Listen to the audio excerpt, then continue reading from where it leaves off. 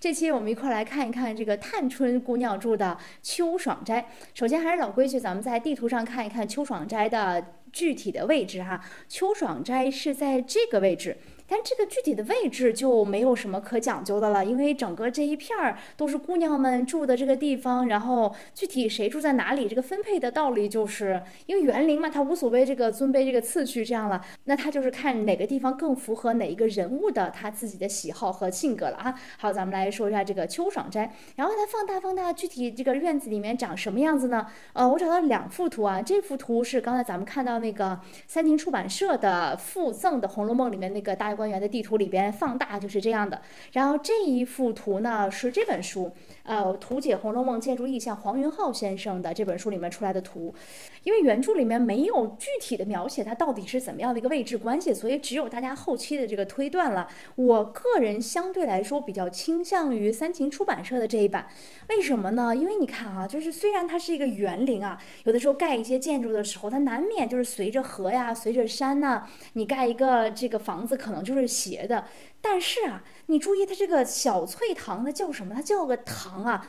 你不是盖一个亭啊、馆呀、榭呀什么的，这个歪着点就歪着点吧。这个堂它在中国古代是一个很正式的一个建筑，所以堂的至少你得冲南吧，对吧？这样的一个比较正的这个方位，所以我觉得这个是相对来说我自己个个人相对来说比较倾向。那接下来咱们来分析这个名字啊，还是老规矩。首先它这个地方呢叫秋爽斋，然后多余出来这个附带它的叫做小翠堂。你从这个名字上一看啊，又是爽，又是脆，对吧？哎呀，听上去就是那种心情舒展的那种爽朗。而且你想想，探春这个姑娘的性格，是不是也是这种偏向男孩子那种很大气的感觉，对吧？啊，但是呢，你看这个话又说回来，你再仔细想想这个秋爽斋这个名字。爽嘛，固然是爽，而且到了秋天叫天高气爽、风轻云淡的那种感觉。但是它，它又毕竟是个秋天，咱怎么说的？叫自古逢秋悲寂寥啊。所以从这个秋爽斋的名字上看上去，啊，探春这个人物就是一方面那种男孩子的爽朗的性格，和他一个像秋天一样的这种悲剧的命运，总是那么交织在一块儿的，对吧？然后另外你再想想，秋爽斋的挂的那个匾上面题的字是什么呢？叫“桐剪秋风”。这个“桐”是。什么呀？是梧桐。那一方面是因为秋爽斋是变种梧桐的。秋爽斋为什么变种梧桐呢？因为梧桐树和秋天非常非常的般配，对吧？你想想，梧桐树一到秋天的这个叶子颜色一变，一一方面非常好看，再一个它有很深的寓意啊。咱们以前这个某一期视频里面，呃，好像叫中国人怎么样听雨，对吧？这个讲过这个梧桐树啊，还讲过，对吧？我家 IT 男最近搞事情，咱们是不是也讲过，是吧？哎，这个梧桐树它不光有是那种高洁的这种形象，你想想这个探春，对吧？他自己的那种自尊自爱，但是另外啊，梧梧桐还有一个特色，咱以前也说过，叫梧桐一叶而天下知秋。你觉不觉得探春这个人物，其实真的就在整个《红楼梦》的这些个小姐里边？特别特别，对于这种家族的败落是一个非常敏感的信号。你比如说，当时查抄大观园的时候，大家别人都没有什么这个额外的感觉，就是觉得哦来查了那就查吧。但探春的反应就非常激烈，她当时就说了一番话，说一个家族要是败落的话，如何如何，对吧？你看她对这个东西非常的敏感。再一个，你想想整个这个故事情节的继续往后的发展。探春远嫁这件事情，真的就是，好像真的就是从探春开始远嫁开始，整个这个大观园里面，大家就开始零零落落的这个命运就开始产生了变化。梧桐一叶，天下知秋，从探春开始啊。好了，那咱们说说完这个秋爽以后，那这个斋呢？这个斋你能想到通常都是一个什么样的建筑呢？你组个词儿，什么书斋，对不对？太合适了。探春啊，你想这个贾府里面四春四个女孩儿啊，你从她们这四个女孩儿的呃丫鬟的名字就能看出来，人家分别的文艺特长是啥，是吧？叫什么这个呃抱琴、思棋、试书和入画，那就是琴棋书画嘛。那放到探春这块儿，那就是她擅长书法。你记不记得原先元妃省亲的时候，哎，里边女孩子们，包括贾包括贾宝玉哈，大家做的这些个诗要传出去给外面的人看，哎，那是还要统一抄写一下的，是由谁抄写执笔的呢？就是由探春来抄写的，那说明探春的书法是大家公认的好，人从小这么训练的嘛啊，啊，这个书斋放在探春的身上也很合适。然后另外，它的书斋长什么样子呢？非常有特点。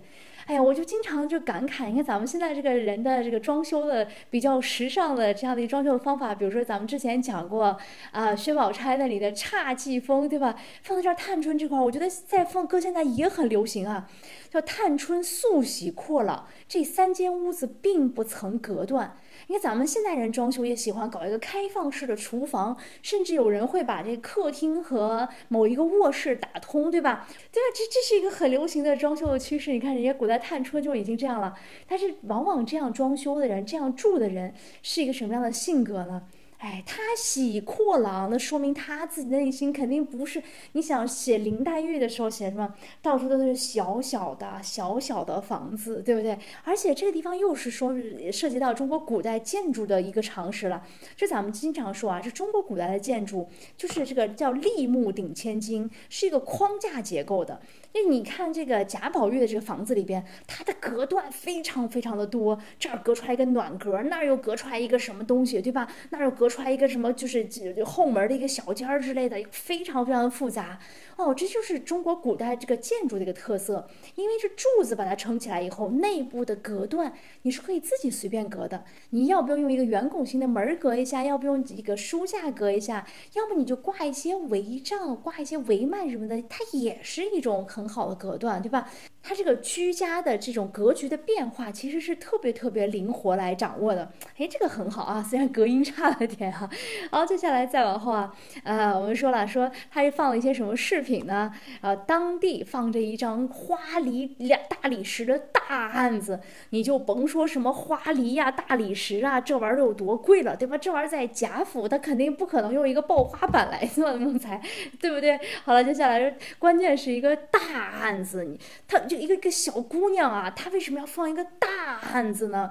你看她这个案子上，首先它是有一个实用的这个考量，是吧？她放着各种各样的东西，各种还是垒着，对吧？堆叠着。她自己不是喜欢写书法嘛，写着各种各样的这种法帖，然后还有几十方砚。我天，一方砚你就不不说多那个什么了，多大了？这么小一方砚，你放几十方，我天，那得多大地儿啊，是吧？更别说的有些砚，它其实是挺大的呢。然后还有笔桶，一个桶里面能放好。多笔啊，而且它这个里边，我天，还是插的树林一般。你说这得多少笔啊？这些酷爱书法的一个女孩子，对吧？然后呢，一边设着个斗大的，你看这个探春这块儿，它描绘都是各种各样的大，对吧？房间也是疏朗，桌子也是大，然后还有一个汝斗大的汝窑花囊。你就甭管这个汝窑，对吧？咱们懂瓷器的同学都知道，什么汝官歌君定的是一个非常值钱的古董，而且。你注意，它这个关键是个器型花囊。啥叫花囊啊？你觉得从这个语感上来说，花囊和花瓶有什么不一样的感觉？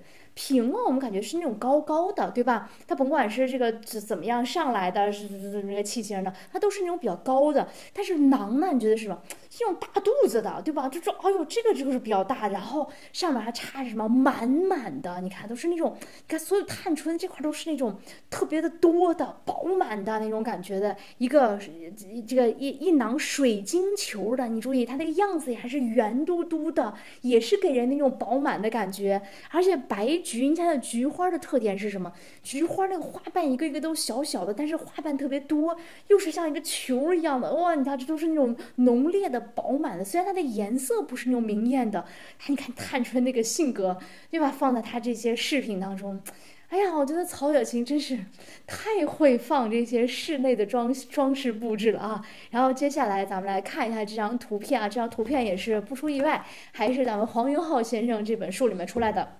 你看，三间屋子没有任何的隔断，哗的豁然开朗的，正中间就是一个大大桌子哦，你瞧瞧这样的，你就觉得像真像一个那种心怀非常的疏朗的这样一个男孩的形象，对不对？然后还说呢，那这边这边有一个案子，然后这边案子上你看他放的什么呢？然后西墙上当中挂着，首先是墙上挂着米襄阳的烟雨图，米襄阳是谁？米芾嘛，对吧？烟雨图，你想想，又是烟，而且下着雨，哇，啪嗒嗒嗒嗒，那个点雨点点画下来以后，也是那种密集的。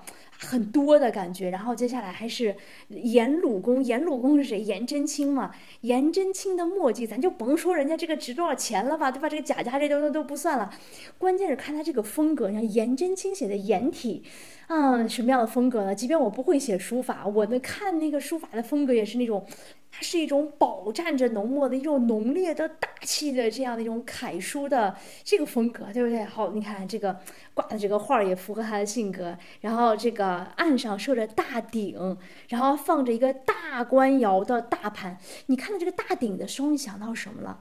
而且尤其是你联系着咱们进到探春这个房间里面，这里一连串的大，你能想起来咱们讲贾府的时候，什么地方也是这一连串的大呀？他。对吧？这个贾府的长家人，这个贾政的那个正房，也就是那个大堂上，荣禧堂，一条大甬路直接出大门的，然后又是什么大案大鼎的？对，你看和那儿竟然是贾府最有权力中枢的那个地方，形成了某一种风格上的呼应。哎呀，你想想这个探春的内心，她你说她在她自己的府室内布置的时候，有没有自己开始给自己模拟的？他就假装的感觉自己好像是处于一个像男孩子一样能够挥斥方遒的、能够建功立业的这样的一个场景。你说他自己心里面有没有这样的一种向往在啊？还有这个大鼎，鼎是象征权力的呀。然后还有大官窑，这个大官窑的大盘，咱就不说这个大官窑了吧？这个你熟悉吗？大官是宋代的一个年号啊，对吧？这是个很值钱的古董了。那大盘子上放着什么呢？焦黄的玲珑大佛手。你说这个佛手啊，一个佛。我手上既然是手嘛，你想咱的手一个手上就有五个指头，对吧？它放了几数十个，又是一种浓烈的、饱满的，而且是焦黄的。你看这个颜色，对吧？也是这种密集的，哎呀，反反复复在强调的这样的一种风格，对吧？探春的人物的性格。然后右边杨基架上一个白玉笔木磬，旁边挂着一个小锤儿。哎呀，你表面上看这个磬啊，这是这是一个和音乐相关的一个乐器，对吧？但是它这个不是个普通的乐器啊。你说是个琵琶，林黛玉那边放着古琴，都不是。这个磬是什么？你想想，这通常的这种摆在庙堂之上的礼器，哇，又呼应了探春的一个，对吧？对于这个男孩子叱咤疆场、挥斥方遒的这样的一个向往啊。然后接下来再往后。其实你仔细想想，探春也是一个很会生活的人。他都东边设着一个，你注意，它整个这个房间是没有任何隔断的，没有任何隔断。古代那个房子又高又大的，你想，他要在那睡，唯一一个不舒服的哈，就是睡觉不太舒服。你想，他要直接摆一个单人床往那一睡。他晚上抬起头看看那么高的一个房顶，哎，整的像睡在大仓库里似的，对不对？哎，你看他在这儿放了一个这个东西，就特别合适放在探春的房子里面，叫什么呢？一个拔步床。啥叫拔步床呢？你仔细看看这个，呃，这个图片，我觉得图片画的还是挺好的。就是它那个床啊，这个不是说一进这个架子它就直接就是床了，它中间形成了一个一个小廊子一样的这样的一个起呃一个结构。为什么叫拔步床？就进了这个床架子以后，你。再拔一步才能到了这个床上，哎，所以它整个这个地方就形成了一个比较相对来说比较小的一个卧室，带上一个简单的起居空间的。这么一个小空间，然后把这个人包起来，哎，这样住在里面相对来说是比较舒服的，对吧？不像是在一个大仓库里，这就是古人居住的智慧啊。那另外，你这个拔步床值多少钱？那咱们可以在各种各样的这个拍卖的，呃，我们现在的这种拍卖会上也可以去查一查。当然了，这个假不假，白玉为堂金作嘛，这事儿咱们就不反反复的强调了。最后，最后我们想起来的，看到这样的房间的布置，看到这样的一个院落的这样的一个情形啊，我们不得不就真的就是浮现在脑海当中，就是探春说过的这两句特别著名的话。第一句就是说我但凡是个男人，可以出得去立一番事业，那时我自有我的一番道理。另外就是查检大观园的时候，探春这一叶知秋的这一番话，可知这样的大族人家，若从外头杀来，一时是杀不死的。这是古人曾说的“百足之虫，死而不僵”，必须先从家里自杀自灭起来，才能一败涂地。哎呀，这样的一个女孩子，真的是胸中有丘壑。如果真的是我班上有这么一个女孩子，哎呀，指不定得多喜欢她呀。